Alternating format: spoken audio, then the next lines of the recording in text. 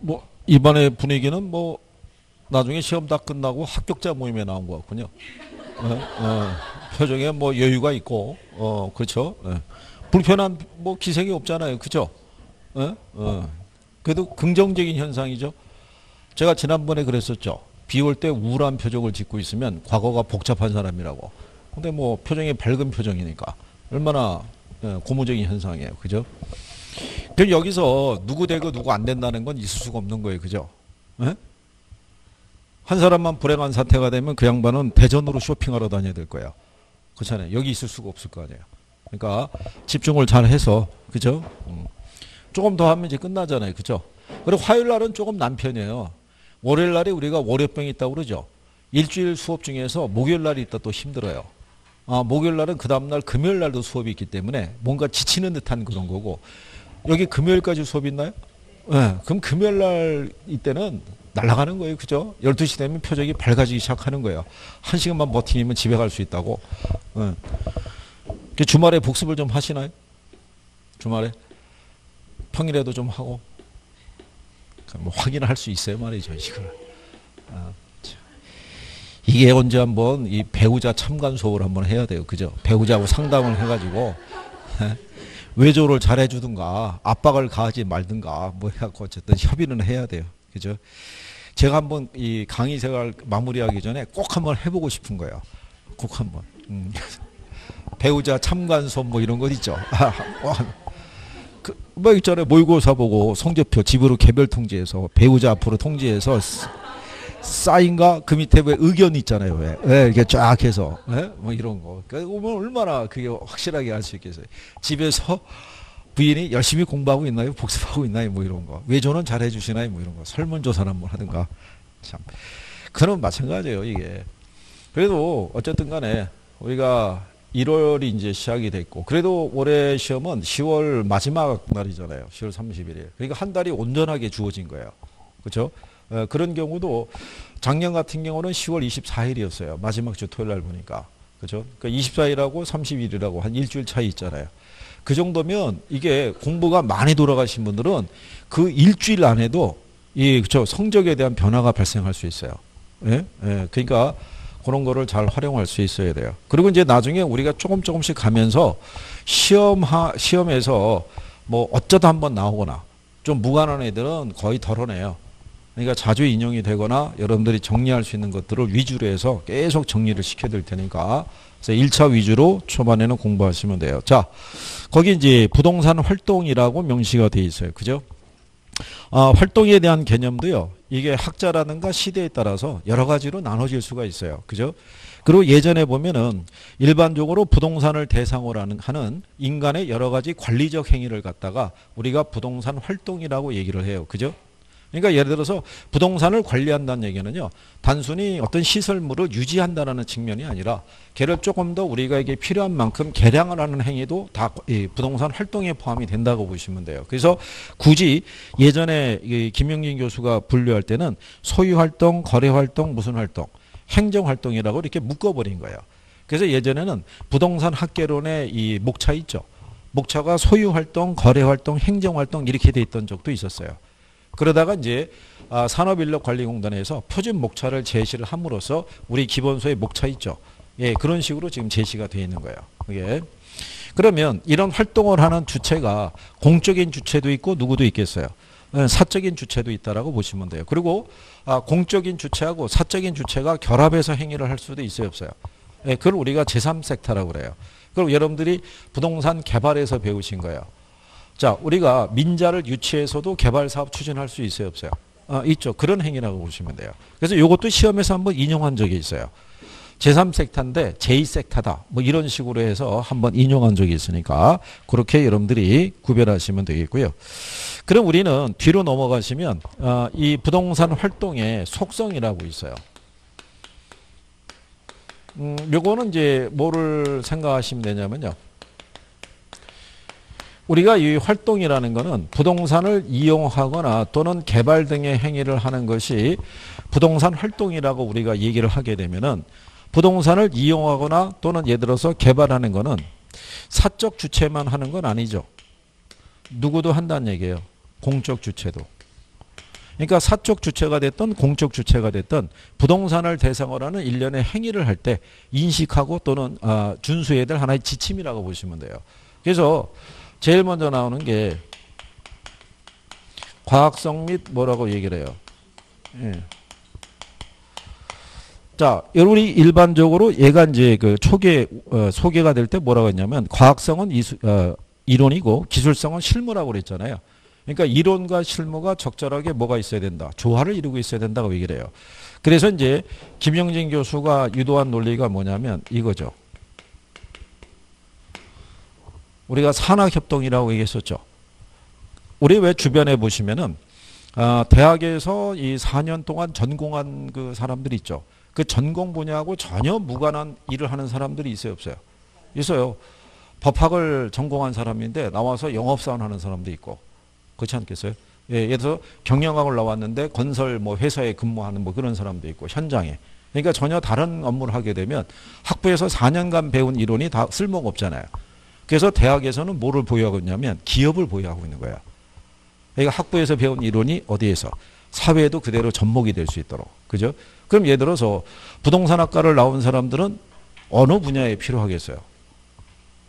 단순히 자격증만 취득하는 건 아니겠죠. 일반적인 이 기업을 가게 되면 개발회사들이 있어요. 그럼 개발회사들은 그 기업이 보유하고 있는 부동산이 있죠. 예, 부동산을 관리하거나 아니면 그 기업에서 만약에 유통이 있죠. 뭐 백화점이나 마트 뭐 이런 것들이 만약에 자회설이 있다 그러면 걔들이 들어설라 그러면 뭐가 필요해요? 부지가 필요하죠. 그러니까 그 부지를 모색하고 확보하고 계약을 하고 이런 업무를 하게 된다는 것은 그것이 단순하게 다른 법학이나 경제학을 전공한 사람보다는 부동산학을 전공하고 나온 사람이 훨씬 더 효율적으로 접목을 할 수 있어요 없어요? 어, 그런 거라는 거예요. 그랬을 때 행위가 좀 더 개선이 될 수 있다라고 얘기를 해주는 거예요. 그죠? 그래서 요즘은 시장에서 보면요. 그 부동산 대학원 있죠. 예, 대학원에 대한 지금 수요가 만만치 않다는 거예요. 언론에 소개가 됐지만은 특히 뭐가 필요하냐면 부동산 이 대학원 쪽에서 이 투자 금융을 전공한 사람 있죠. 예, 이 사람들이 필요로 하는 거예요. 지금 시장에서 이 증권이라든가 이 금융 쪽에서 뭐 투자 뭐 신탁이든 이쪽에서 그쪽을 대학원 쪽에서 그거를 전공한 사람들이 아마 지금 이게 요직으로 이렇게 옮겨가는 그런 추세인가 봐요. 그래서 뭐 K대 대학원에서 원래 80명 정원이었는데 워낙 지원자가 많아서 100명으로 늘렸음에도 불구하고 지원자가 수천 명 뭐 이런 모양이에요. 그게. 그러니까는 이제 인식이나 이런 게 많이 달라진 거죠. 그래서 이제 김명진 교수라는 분은 예전에 1977년에 K대에 가다가 이 부동산 대, 어, 과정을 갖다가 대학원에 만든 거예요. 그리고 83년도에 학부에다가 부동산학과를 개설한 거죠. 그 양반 이제 사후에 이제 나온 거지만. 근데 83년도면요. 부동산에 대한 인식이 현저히 낮을 때였어요. 85년도가 종인중개사 시험 1회거든요. 예, 그 전에는 다 복도방이라고 그랬잖아요. 그러니까 예전에는 그게 K대 정법대학교의 그 학부가 개설이 됐을 때 주변의 학과 학생들이 뭐라고 생각했겠어요? 쟤들은 그렇죠. 복덕방하러 왔냐? 젊은 애들이 졸업하고 뭐 하려고 이랬던 거죠. 근데 지금은 이미지가 많이 개선이 된 거죠. 언론을 봐도 알 수 있어요. 예전에는 부동산에 관련된 기사는요. 별도의 섹션이 있죠.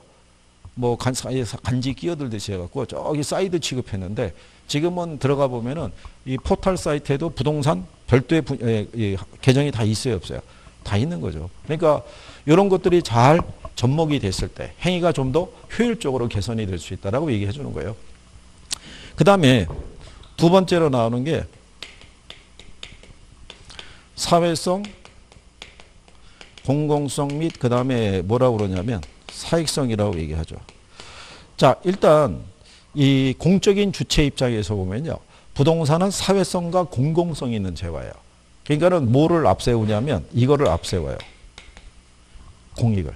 그래서 개인 소유의 권리가 소유권을 갖고 있다고 하더라도 그 소유권에 제한을 가할 수도 있다고 보는 거예요.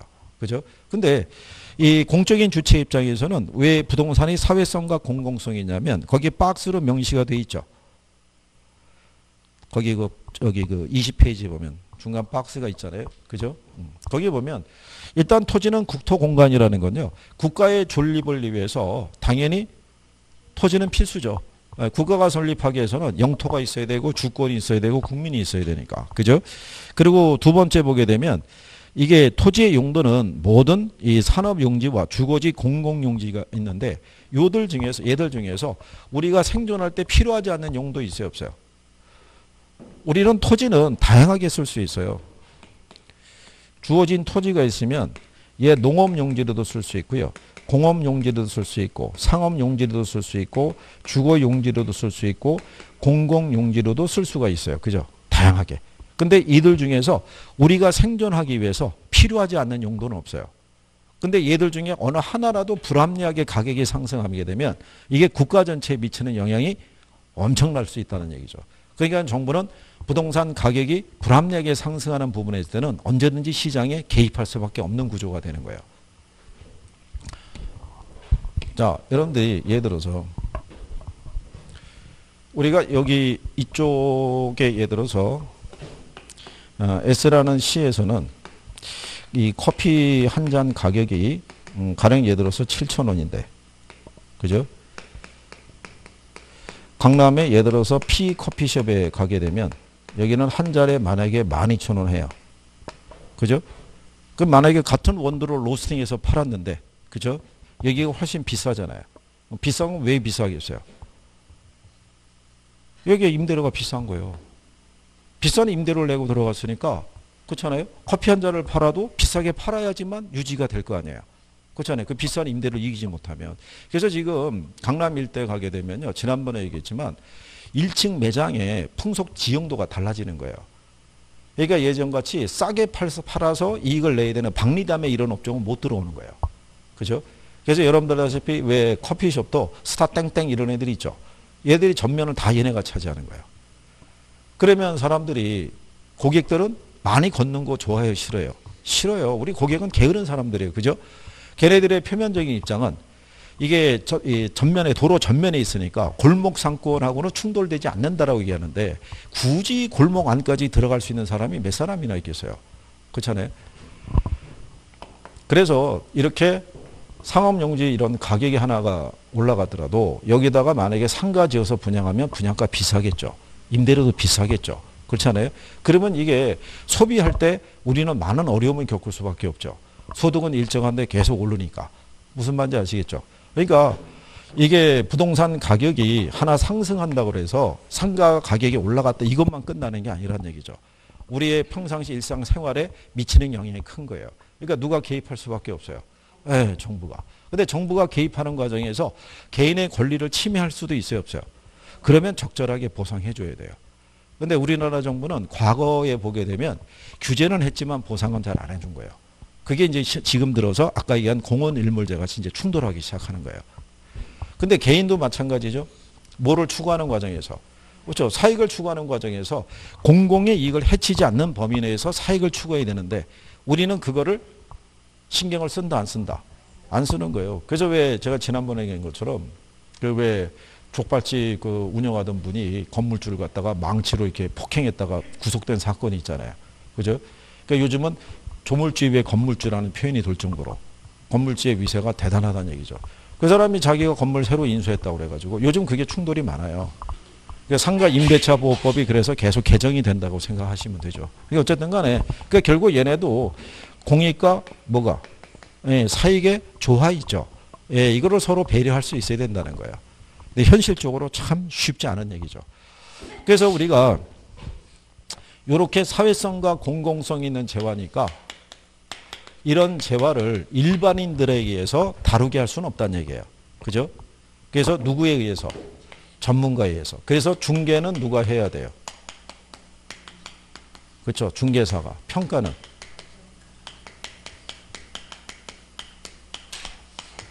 음, 여기가 해야 돼요. 그래서 여러분들이 왜 감정평가의 필요성을 가게 되면 누가 해야 된다는 거예요? 전문가가. 그렇죠? 왜냐하면 감정평가 부동산의 가치 추계는요. 최유 이용 상태를 기준으로 평가를 해줘야 돼요. 그죠? 여기 만약에 농지가 있으면 농지의 최유 이용은 뭐겠어요? 어, 농사 짓는 거예요. 그래서 이 농지에서는 농사 지어서 연간 한 5천 이렇게 수익이 나오면 그죠? 여기에다가 할인율을 적용하면은 농지의 가치가 한 5억이다. 예? 이렇게 평가를 하는데 만약에 이 농지가 이걸로 바뀔 수도 있어요, 없어요? 택지로.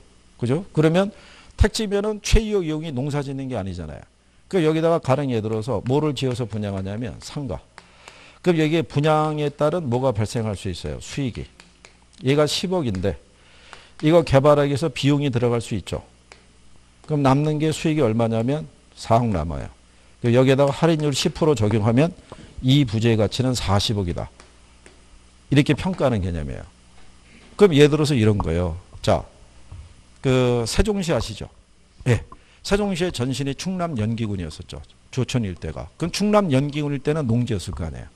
근데 얘가 만약에 행정도시로 지정이 되면 농지가 아니라 뭐로 바뀌는 거예요? 택지로. 그러면 이 농지의 가치를 농지로 보고 평가하면 안 되죠. 이 상태로 바꿔서 보고 평가해야 되는데 이걸 일반인들이 하기 어렵다는 거예요. 그죠? 이거를 누가 판단할 수 있어야 돼요? 전문가가. 그죠? 그러니까 우리는 이 사람들의 행위에 대해서 신뢰를 보낼 수밖에 없죠. 그래서 이 사람들의 행위에다가 뭐를 요구하냐면 이걸 요구하는 거예요. 그렇죠. 윤리성을 요구하는 거예요. 그래서 지난번에 말씀드렸지만 요거는 그냥 얘가 뭐가 있는 재화니까 사회성과 공공성 있는 재화니까 전문가가 다뤄야겠죠. 예, 네, 근데 이런 전문가 행위를 우리는 신뢰할 수밖에 없으니까 이 사람들에게는 뭐를 요구할 수밖에 없다. 그렇죠? 직업 윤리를 요구할 수밖에 없는 거예요. 그죠? 그래서 여러분 시험에 요중에 그 윤리에 대한 부분이 있죠. 거기 하면은 21페이지 하단에 가면은 부동산 윤리의 유형이라고 있죠. 그래서 고용윤리, 조직윤리, 서비스윤리, 공중윤리라고 있어요. 요 중에 두 개가 나온 거예요. 그래서 고용윤리는 뭐냐면 아, 중개 사무실에 가게 되면요. 대공도 있고 소공도 있고 중개 보조원도 있어요. 그러니까 대표 공인중개사, 소속 공인중개사 이렇게 있는데 다 동등한 수준의 윤리의식을 갖추고 있어야 되는 거예요. 중개보조원의 행위도 중개업자가 하는 행위랑 똑같이 취급하는 거죠. 그죠? 그 다음에 조직윤리는 뭐라 그러냐면 동업자 정신이에요. 중개업자 간에도 지켜야 될 도리 있죠. 여러분들이 지금 보시면 일요일 날 중개사들 영업해야 하네요. 안 하죠. 이거는 법으로 정한 게 아니라 자체 내규예요. 그러니까 여러분들이 왜 시장에 보면은 중개업자들 말고도 왜 어, 중국집이라든가 세탁소 있죠. 그럼 한 달에 한두 번 쉬죠. 그럼 그것도 법으로 정한 게 아니에요. 자기들이 그 날짜를 정한 거예요. 그죠?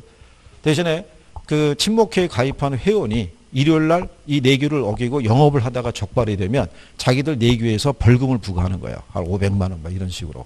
그죠? 그래서 지역마다 가면은 중개사 친목회들이 다 있어요, 없어요? 다 있어요. 그러니까 이 사람들이 텃세 부릴 때가 있어요. 그러니까 여러분들이 만약에 합격을 해서 여기 와서 이제 영업을 하려고 그럴 때 점포가 있어야 되잖아요. 그럼 얘네들이 얘기하는 거예요. 우리 기존 회원이 운영하던 점포가 나와 있는 게 있다. 그러니까 얘를 피를 주고 인수해라. 이렇게 압박을 가하는 거예요. 이걸 인수하지 않으면 공동 중개를 안 하겠다. 이렇게 해주는 거예요. 그러면 어쩌죠 해서 이걸 피를 주고 들어가면 그죠? 근데 갑자기 표정이 불안하게 바뀌는 거예요. 아니 이거는 합격한 다음에 고민해도 늦지 않은 거예요. 그죠? 아니 뭐 합격도 안 했는데 뭘 이거 피를 줘야 돼? 뭐 그거를 뭘 걱정을 하고 있어요. 표정이 그냥 듣는 거예요. 그죠? 근데 만약에 생각해 보세요. 내가 만약에 억대의 피를 주고 들어갔잖아요. 그러면 나도 내가 운영하는 동안에 이 피 준 거를 뽑아야 될 거 아니에요. 그러면 법에서 정한 요일만 갖고는 이게 회수가 안 되죠. 그러면은 음성적이거나 불법적인 수수료가 오갈 수도 있어요, 없어요. 그러면 거래 질서가 문란해질 수도 있다 이런 얘기인 거예요. 그러니까는 그래서 제가 지난번에 있잖아요. 저기 수도권에 있는 어느 그 신도시 쪽에서 예, 거기서도 똑같이 그 시험에 합격한 사람들이 개업하려고 그랬더니 거기 있던 친목회들이 그걸 얘기한 거예요. 피를. 근데 그 지역에 그의 합격자가 한 50명 나왔어요. 그러니까 이 사람들이 집단으로 반발한 거예요. 수가 많으니까. 그래? 그럼 니들은 니들끼리 놀아. 우리 우리끼리 놀을게. 이렇게 된 거예요. 근데 인원이 너무 많잖아요. 그러니까 그 지역의 기존 친목회가 뭐라고 했겠어요? 야, 그러면 우리 너희끼리는 같이 놀고 인원이 많으니까 내년부터 나오는 애들부터 우리 힘을 합쳐서 피를 받도록 하자 이렇게 가는 거예요. 그러니까 같은 기수에 합격자가 많으면 파워가 생길 수 있어요 없어요? 그렇죠. 그러니까 옆 사람이 졸면 깨워줘야 되죠. 재우면 안 되는 거예요. 같은 기수에 합격자가 많이 나와야 되는 거예요. 무슨 말인지 아시겠죠? 어, 그게 힘이 된다니까요. 나중에 그래도 어, 느낌이 뭐가 틀리냐면요. 올해 이제 끝나고 이제 뭐 합격자 모임 이런 걸 거 아니에요. 거기서 만나면은 꼭 무슨 전쟁터에서 살아온 전우 있죠. 어, 그런 느낌이 드는 거예요. 결속력도 강해지고. 그죠? 얼마나, 그런 생각, 1년 같이 고생했는데. 그렇잖아요? 예. 조금 벌써 지금은 각자 집안 사정 대충 다 알걸요? 박한 양반 성격이 어떻다는 거 뭐 이런 거 다 알고 있을 거예요. 그죠? 얘기가 다 오고 갔을 테니 그 정도로 가까운 건데. 그러니까 열심히 해서 합격을 해야 되는 거예요. 그죠? 그래서 그게 고용윤리고요. 서비스윤리는 의뢰인의 이익을 제일 우선시해야 되고요. 그 다음에 시험에 나온 게 뒤에 보면 공중윤리라고 있죠. 지난번에 우리가 이렇게 얘기했었죠. 매도자가 있고 뭐가 있어요? 매수자. 그 다음에 중개사가 있고요. 평가사가 있고 뭐 세무사 있고 은행 있고 이렇게 다양해요. 그죠? 이들 중에서 윤리 의식이 필요한 사람이 누구라 그랬어요? 이 중에 어? 윤리 의식이 필요한 사람이 누구? 어? 누구? 이거 다 필요한 거예요. 다 모두 다. 그러니까 부동산 거래 활동에 참여하는 사람들은 기본적으로 윤리 의식을 갖고 있어야 된다는 게 그게 공중 윤리인 거예요. 그러니까 여러분 시험에는 누구만 예, 중개사만 윤리 의식을 갖고 있어야 된다면 틀리는 거예요. 가장 최근에 있죠. 목동 아시죠? 예.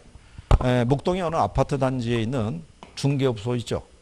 예, 여기에 대해서 비토를 가하는 플랜카드가 여기 붙은 거예요. 단지 내에. 그러니까 예를 들어서 그 단지에 가면 왜 분여회 있잖아요. 아니 우리 단지의 시세가 15억인데 여기서는 15억 미만으로 지금 물건을 올렸다는 거예요. 거래 이 저 사이트에다가. 그러니까는 이거는 우리 단지의 시세를 떨어뜨리는 그런 행위가 되니까 이거 바로 내리지 않으면은 너한테는 중개 물건을 주지 않겠다. 이런 식으로 압박을 가한 거예요. 그죠? 음, 근데 올해 8월 달이면 법이 개정이 돼요. 중개업자들도 허위 매물을 올리면 처벌받게 돼 있어요. 이게 바뀌어서. 근데 그 주변의 그 여론을 봤을 때는 이건 분여회가 가격을 끌어올리기 위해서 한 거예요. 이거를. 그러니까 우리 단지 시세를 얼마에 맞춰달라는 거예요. 15, 예를 들어서 15억에. 그죠? 그러면 주변 단지가 있으면 음, 주변 단지도 우리가 이 단지보다 못할 게 뭐가 있어? 그럼 니네가 15억이야? 그럼 우리도 15억 받아야지. 그러면 전반적인 시세가 어떻게 돼요? 부풀려서 올라가잖아요. 그럼 누가 피해 보겠어요? 실수요자들이 피해 보는 거예요. 선의의 그 거래를 하겠다는 사람들이 졸지에 몇 억씩 뛰는 거 아니에요. 그죠? 그래서 거래 활동에 참여하는 이런 사람들이 다 뭘 갖고 있어야 돼요. 어, 윤리식 평가사도 마찬가지예요. 물건의 가치를 비싸게 평가해 주면 대출도 많이 받아갈 거 아니에요. 그리고 은행 입장에서는 나중에 채권 회수가 어려울 수도 있어요, 없어요? 있죠. 그러니까 기본적인 윤리의식이 있어야 된다. 예, 그렇게 정리하시면 되겠고요. 그 다음에 아, 부동산을 대상으로 우리가 그 행위가 효율적이기 위해서는 뭐가 바탕이 돼야 돼요? 음, 정보가. 왜 정보가 필요한지에 대해서는 우리가 효율적 시장 이론에서 한번 배우신 거예요. 우리가 이 주식시장의 주가라든가 부동산 시장의 부동산 가격이 있죠. 어, 얘들은 뭐에서 결정이 돼요? 얘들은 어? 주가하고 여기 있는 부동산 가격은 뭐에 의해서 결정이 돼요? 어? 어, 수요와 공급. 어, 그래서 여러분들이 수요 공급 이론을 배우는 거예요. 시장 분석할 때 가장 기본적인 도구니까. 그죠? 그런데 수요와 공급은 변화가 없는데 얘들이 움직일 수 있다고 그랬죠. 뭐 때문에? 어떤 소문이나 루머에 의해서 증권가에 가면 찌라시 있다고 그랬죠. 찌라시에 있는 내용은 사실이 아니잖아요. 근데 그 찌라시의 내용만 갖고도 주가는 요동을 칠 수 있죠. 부동산 시장도 마찬가지죠. 어디가 개발이 된다더라, 뭐가 들어선다더라는 소문만 돌아도 시세가 요동을 치잖아요. 이유는 왜 그렇다고 그랬어요? 그죠? 부동산 시장에 거래되고 있는 가격은 현재 정보까지만 반영이 돼 있어요. 그 미래 정보는 반영이 돼 있다, 안 돼 있다? 안 돼 있는 거예요. 그러니까 가격이 불안정한 거예요. 그러니까 어떤 소문과 루머에 의해서도 요동을 치는 거예요. 근데 문제가 뭐냐면 그런 소문이나 루머도 부동산을 소유하고 있는 사람이 있죠. 매도자들은 그거를 거래 가격에 반영하고 싶어요. 그렇지 않겠어요? 이게 개발만 말대로 소문대로만 개발만 돼도 내가 이익이 커질 거 아니에요. 근데 매수자는 어때요? 그거를 거래 가격에 반영하기에는 위험 부담이 너무 크죠. 그렇잖아요.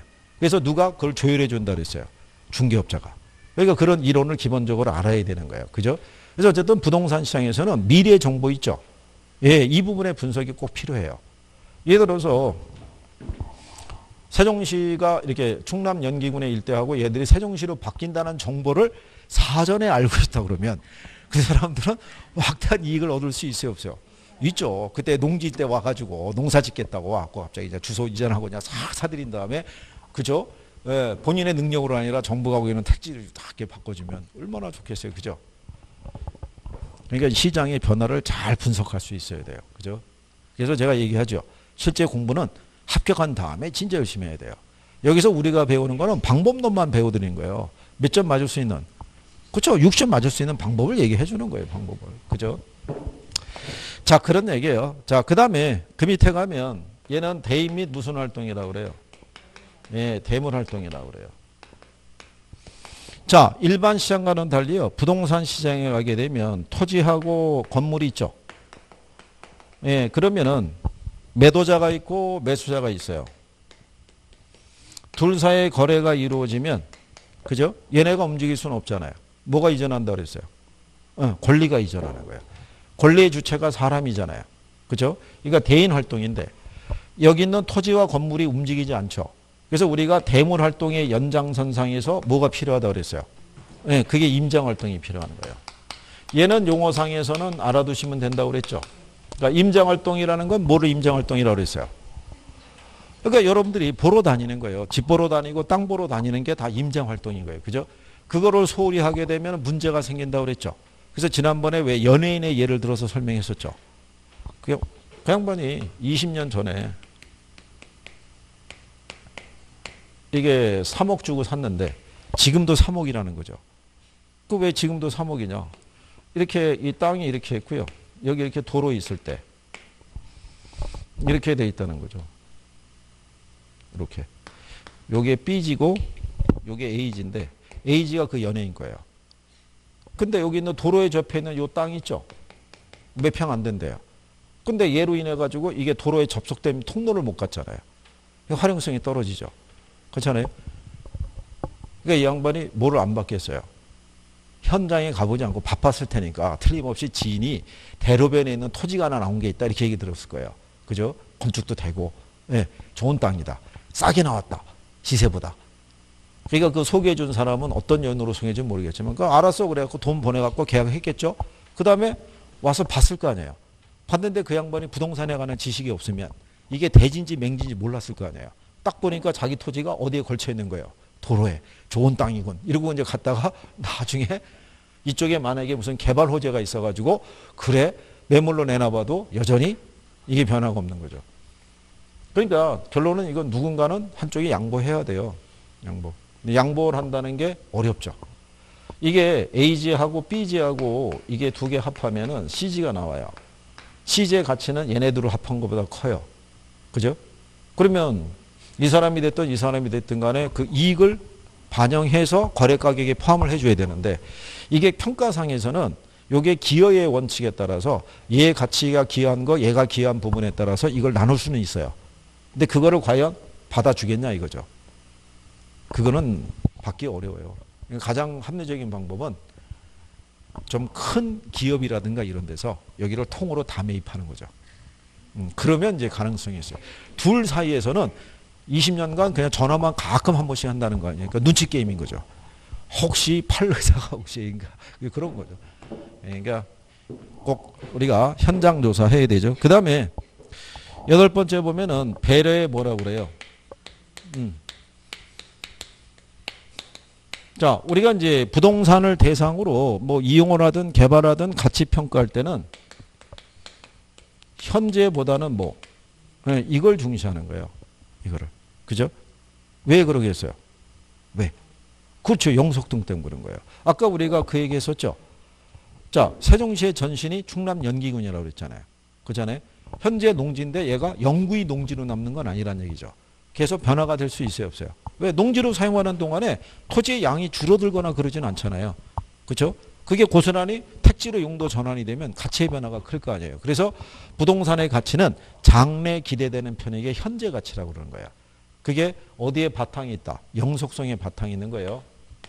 그러니까 이게 용어의 의미를 정확하게 알면 다른 거랑 이렇게 연결이 돼요. 무슨 말인지 아시겠나요? 그래서 우리가 임대를 줄 수 있다는 거예요. 그래서 이 부동산 시장은 다른 이 자본 시장과는 달리 임대차 시장이 발달하고 있는 이유가 거기 있는 거예요. 무슨 말인지 이해하시겠죠? 네, 그래서 그 다음에 아, 부동산을 대상으로 활동은 공간 활동이라고 그래요. 그러니까 이 공간이라는 거는 이렇게 삼천 공간을 얘기를 해요. 수평뿐만이 아니라 뭐 공중하고 어디? 지하. 그죠? 네. 가끔 이 공중을 지상이라고 얘기하는 분이 있는데 그런 민법에서 지상권에 치여서 그래요. 그죠? 예, 개론에서는 그냥 공중 이렇게 얘기를 해요. 그죠? 공중권이라고 얘기를 하고 그래서 뭐 열심히 했다라는 증거기도 하고 민법에 시달리고 있다는 증거도 되죠. 그렇죠? 예, 그래서 민법도 해볼 만 하죠. 어? 아, 그럼요. 재밌는 거예요. 그렇게 생각하는 게 제일 마음이 편한 거예요. 그죠? 어렵다는 생각하면 더 어려워질 수 있어요, 없어요? 제가 지난번에 얘기했었죠. 민법하고 학계론이 있을 때가 좋은 거라고. 어? 어. 거기에 뭐가 들어오면? 어, 영어가 들어오면, 그죠? 자, 민법, 개론, 영어 세 과목 중에서 두 과목을 선택할 수 있다면 우리는 민법하고 개론을 선택을 할 거예요. 그죠? 딱 하나만 들어와도 얘기가 틀려지는 거예요. 그러니까 긍정적으로 생각하세요. 긍정적으로. 자, 그래서 여기 있는 그 내용 중에서 마지막에 복합 개념이라고 해놨죠. 그래서 부동산 활동의 효율적이기 위해서는 법, 경제, 기술 있죠. 세 가지 관점에서의 접근을 필요로 한다라고 얘기를 해요. 그렇게 정리하시면 되고 그 다음에 이제 그 옆에 이제 가면 부동산 활동의 일반 원칙이라고 있죠. 예, 이거는 뭐 참고해도 된다라고 얘기를 했어요. 아까 우리가 부동산학의 일반적인 지도 이념하면은 효율성과 형평성 얘기했잖아요. 거기 분류를 한 게 그게 이제 김영진 교수가 분류한 건데 김영진 교수는 능률성하고요. 경제성이 있죠. 이게 포괄적으로 보면은 같은 논리예요. 그러니까 그 양반은 효율성에 대한 거를 능률성하고 뭐로 경제성으로 분리시켰다고 생각하시면 돼요. 그죠? 그리고 이 양반은 여기다가 이제 안전성이라는 걸 집어넣고요. 공정성이라는 거는 그 양반 제자가 하나 또 추가시켜 준 거예요. 왜냐하면 효율성 다음에 형평성의 논리가 있잖아요. 그죠? 예, 그래서 그렇게 정리하시면 되겠고, 거기 능률성의 원칙 안에 가게 되면은 이전의 원리, 보조의 원리 이런 것 있죠. 예, 그거는 그냥 참고하셔도 돼요. 왜냐하면 이게 1970년대 들어온 논리예요. 여러분들이 무슨 그 이전의 원리라는 거는 인간이 담당하던 걸 기계나 도구에게 의존하면 좋다고 그랬죠. 옛날에 간만에 생각해 보시면요. 기업에 취업을 하잖아요. 취업한 다음에 이제 서류를 보완을 해줘야 돼요. 그럼 예서 대학 뭐 졸업증명서나 뭐 이런 거 갖다 만약에 띄어야 되잖아요. 근데 만약에 지방에서 대학을 나온 사람 같으면은 하루 회사를 쉬고 거기를 갔다 와야 돼요. 옛날에는. 옛날에는 이게 온라인으로 그 이제 예를 들어서 서류를 지금 같이 주고받을 수 있는 시절이 아니었잖아요. 그죠? 근데 지금은 다 돼야 안 돼요. 어, 다 되는 거죠. 그러니까 이거는 예전의 논리에 바탕을 둔 거기 때문에 여기서 근래 25회 이후로 문제가 한 번 인용이 된 적은 있어요. 근데 아주 드문 케이스라고 보시면 돼요. 무슨 말인지 아시겠죠? 자주 나오고 그런 애들이 아니라는 거예요. 참고하셔도 되고요. 그 다음에 뒤로 넘어가시면 한국 표준산업 분리에 따른 부동산업이라고 있어요. 그죠? 그러면 얘들도 왜 들어왔냐면 얘가 26회 때인가 시험에 한번 나왔어요. 나온 이유가 뭐냐면 그에 이게 개정이 된 거예요. 이게 바뀌어서 그래서 어디서 문제가 나왔냐면 25페이지 하단에 가면은 맨 왼쪽 간에 부동산 관련 서비스업 있죠. 맨 하단에 보면 맨 왼쪽 칸에 예, 거기서 보면은 부동산 관리업이 있고 중개 자문 및 감정평가업이 있죠. 예, 그 중에서 이 관리업 중에서 주거용 부동산 관리업과 비주거용 부동산 관리업이 있죠. 여기에 세부 예시가 나왔던 거예요. 예, 그래서 그게 한번 나왔던 거고요. 요때 개정이 됐던 건 실상 뭐가 개정이 됐냐면 관리업 밑에 가면 중개 자문 및 감정 평가업이라고 있죠. 예, 거기서 뭐가 들어갔냐면 이 자문이라는 표현이 들어간 거예요. 자문이라는 게 신설이 됐고요. 그 다음에 옆에 칸으로 가게 되면 중개 및 대리업이라고 해놨죠. 예, 그 대리업이 신설이 된 거고요. 그 다음에 투자 자문업 있죠. 예, 요게 또 추가가 된 거예요. 그래서 그때 요게 개정이 돼가지고 아, 그래서 혹시 요쪽에 관한 종류 있잖아요. 제목만 갖고 물어보지 않겠느냐라고 추정을 해봤는데 관리업에서 이제 인용을 해준 거죠. 아, 그리고 지난번에 얘기했지만 어, 우리가 이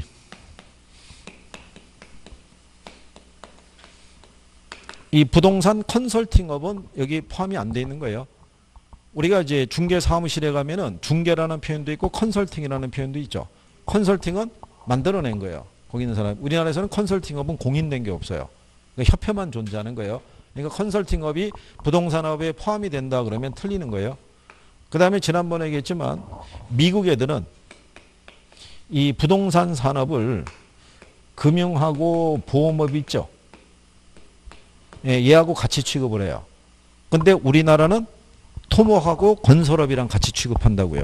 그러니까는 부동산업의 분류 얘기할 때 금융과 보험업이 들어갔다면 역시 틀리는 거예요. 무슨 말인지 아시겠죠? 이걸 여러분 시험에 인용을 또 해준 거예요. 그러니까 알고는 계시는 거예요. 항목을 지금 다 외우거나 하실 필요 없어요. 무슨 말인지 아시겠죠? 예, 그런 정도로. 음, 그 다음에 이제 뒤로 넘어가시면 부동산 현상이라는 거는 아까 얘기한 것처럼 아, 부동산 활동의 결과로 나타나는 것을 우리는 뭐라고 그러냐면 현상이라고 얘기를 해요. 예, 그런 내용 정도로만 알아두셔도 돼요. 예, 크게 중시하지 않으셔도 되는 파트예요. 대신에 우리는 27페이지 가시면 거기 부동산 개념하고 분류라고 해놨죠. 그래서 우리가 제일 먼저 자 부동산 개념에 대해서 제목이 노란색이면 이게 시험 범위에 포함된다고 그랬죠. 예, 그리고 별표를 해주면은 출제 빈도가 높은 애들이에요. 그죠? 예. 그러면 이 개념을 우리가 이제 분류하게 되면요. 우리가 이것도 복합 개념의 논리에서 분류한다 그래서 기술적 개념, 경제적 개념, 무슨 개념으로 법률적 개념으로 우리가 구분할 수 있다라고 얘기한 거예요. 그죠? 예, 그래서 지난번에 우리가 이거 설명을 해드렸는데 예, 이걸 물리적 개념이라고도 얘기를 해요. 그리고 경제적 개념. 그리고 법률적 개념. 이렇게 세 가지로 나눌 수 있대요. 여기 있는 위에 거 두 가지 있죠. 네, 이거는 뭐만 우리가 구분할 수 있으면 된다고 그랬어요. 이거. 이거는 종류만 구별할 수 있으면 되는 거예요. 뭐만? 종류만. 그래서 기술적 개념은 몇 가지? 어, 네 가지. 경제적 개념은 다섯 가지. 그죠? 네. 그래서 얘는 공간, 자연, 환경, 위치. 얘는 자산, 자본, 생산 요소, 상품, 소비재. 그러면 위에 거 두 가지는요. 왜 제목만 알면 된다고 얘기하냐면 이 분류는 우리나라에서 분류하든 일본에서 분류하든 미국에서 분류하든 똑같아요. 길적 개념과 경제적 개념 분류 어느 나라에서 분류하든지 간에 그런데 이 법률적 개념이 있죠. 법률적 개념에 들어가게 되면 협의의 부동산이 있고요. 무슨 부동산이 있을 때 음, 일반적으로 이 협의의 부동산의 분류는요. 어디서 분류해 준 거예요? 우리 민법의 기초에서. 그죠? 자, 그래서 어, 29페이지 보시면 하단에 법률적 개념이 있죠. 거기 협의의 부동산이 있죠. 보통 민법상에서 정의한 개념을 말한다 이렇게 해놨잖아요. 그죠? 그러니까 이 법은 이거는 우리나라에서만 분류한 거라고요. 그래서 우리가 협의의 부동산은 토지 및 뭐가 있다고 그랬어요. 정착물. 자, 정착물 중에 보면 토지로부터 독립된 것으로 간주된 애가 있고 토지의 일부로 간주된 애가 있다고 그랬죠. 그래서 독립된 것으로 간주된 애 중에서 대표적인 애가 건물 이런 애들이 있다고 그랬어요. 그죠? 요 건물을 토지하고 독립된 물건으로 취급하는 거는 우리나라의 민법하고 일본 민법에서만 그래요. 그러니까 영미법에서는 독립된 물건으로 보지 않는 거예요. 그러니까 요것만 따로 출제하는 거예요. 그러니까 원래 우리나라 민법이 그러니까 독일 민법에서 일본 민법을 거쳐서 우리나라 민법으로 들어온 거예요. 그러니까 우리나라 민법의 체계는 일본 민법을 따르고 있다라고 보시면 돼요. 뭐 선생님 얘기하시겠죠. 그죠? 이게 영미법하고는 어, 영미법은요. 국제적인 상법은 영미법을 따르도록 돼 있어요. 미국 애들이 또 파워가 예전에 뭐 영국 애들 마찬가지 영미법을 따르도록 돼 있는데 그래서 그 법에서 규정한 게 틀린 거예요. 그래서 어, 영미법에서는 토지하고 건물은 그냥 하나의 물건으로 보는 거예요. 건물을 토지로부터 분리시키지 않는다는 얘기죠. 그러니까 법의 체계가 틀리니까 요것만 따로 나올 수 있는 거예요. 뭐만 독립된 물건으로. 그러면 얘네들은 뭐만 알면 돼요? 응, 저 제목만 알면 돼요. 작년 문제가 여기서 나온 거예요. 응? 작년에 여러분 시험에 어떻게 줬냐면 박스로 이렇게 준 거예요. 개념을 올바르게 분류한 것 있죠. 그래가지고 경제적 개념과 무슨 개념? 네, 이렇게 해갖고 1번, 2번 준 거예요. 그러니까 이 안에 얘들 종류 있죠. 네, 이거 여기다 집어넣은 거예요. 집어넣어가지고 기억, 니은, 디귿, 리을 이렇게 쭉 줘가지고 올바른 거 이렇게 배열된 걸 골라라 이렇게 출제해 준 거야. 이게. 그리고 어, 그 이전에 출제할 때는 또 뭐라고 줬냐면 이 기술적 개념에는 여기 있는 자산, 그 다음에 생산 요소, 그 다음에 공간, 자연 등이 있다 그러면 틀릴 거 아니에요. 얘들은 경제적 개념이잖아요. 근데 나중에 여러분들이 기출문제집 나오게 되면 한번 이렇게 보시게 되면 과거로부터 얘들을 출제할 때는 다 제목만 물어보는 거예요. 다른 거 물어본다 안 물어본다. 안 물어봐요. 그러니까 그것만 포인트로 생각하시면 되고 여기는 우리나라 민법상을 기초로 굴려 있으니까 얘만 따로 낼 수 있다는 거예요. 무슨 말인지 아시겠죠? 그럼 그 중에서 가장 많이 인용한 게 뭐겠어요?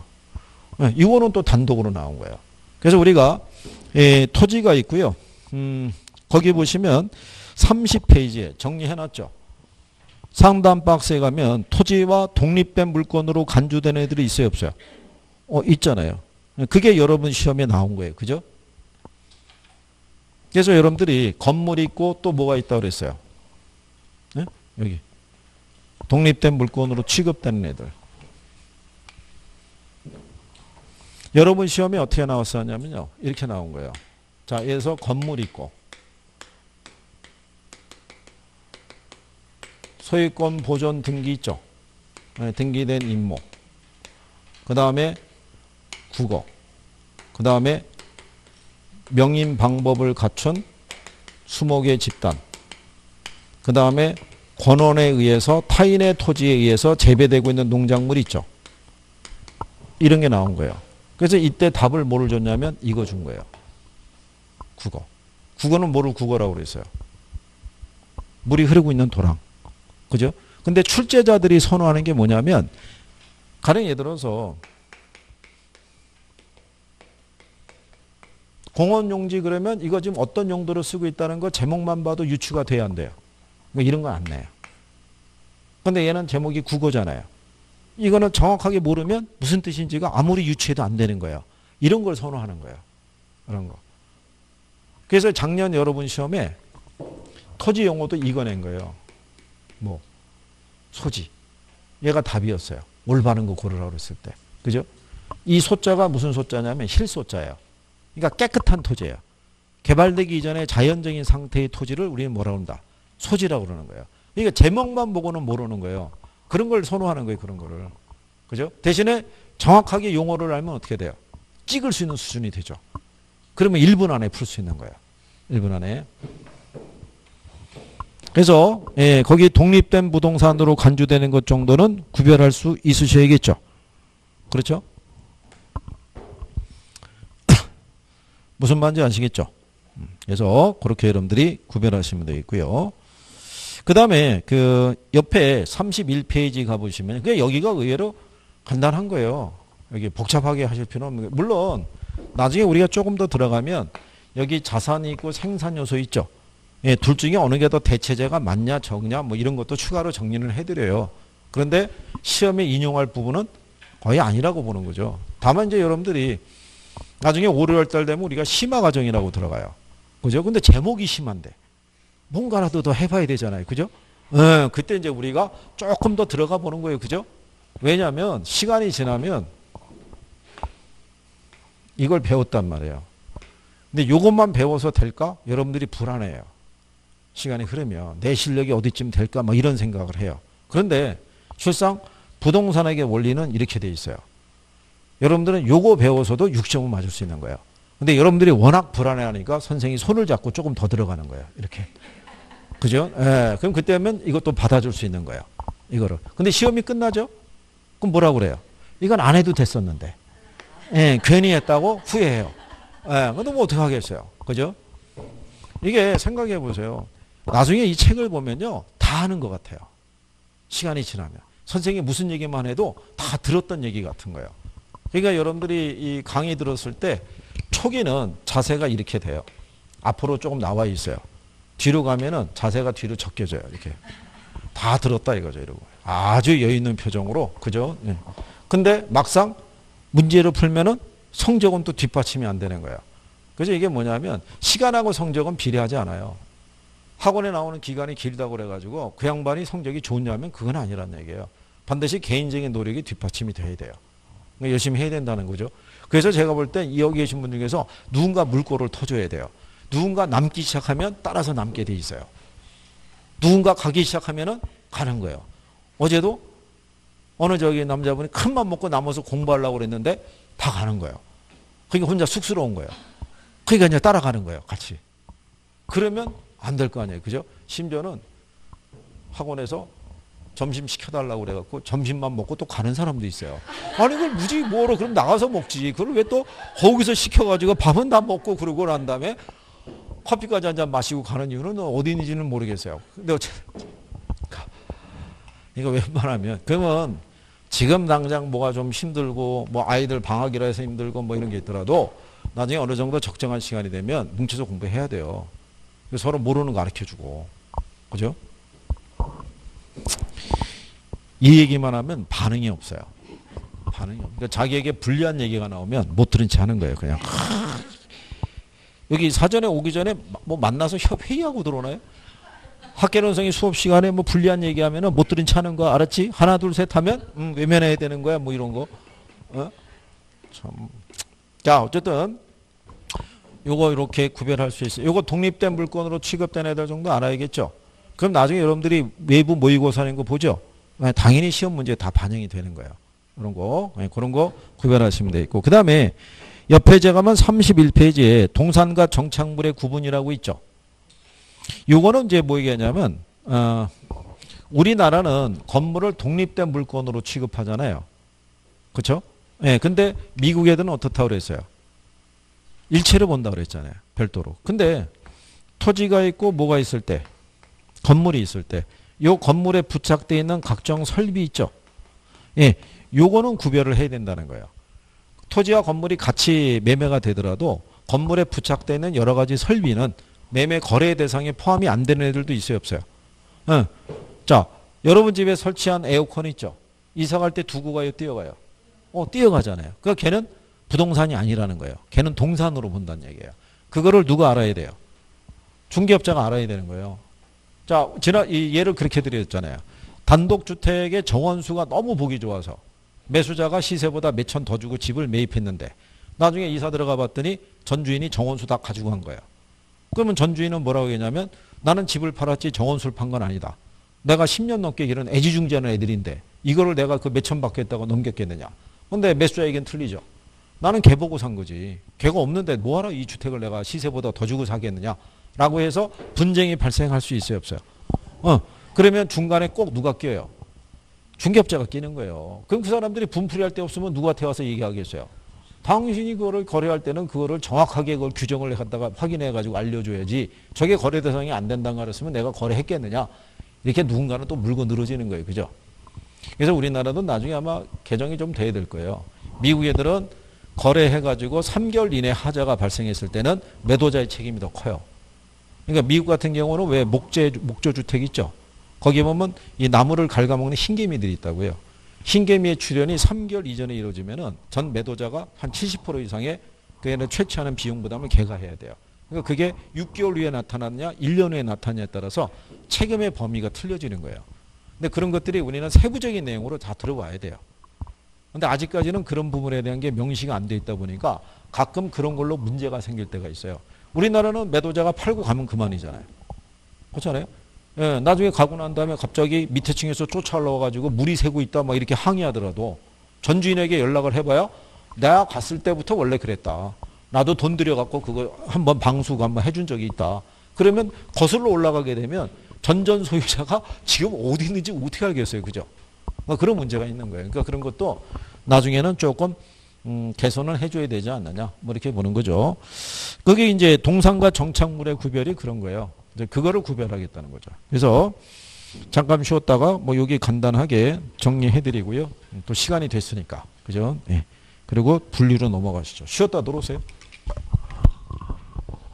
그리고 이제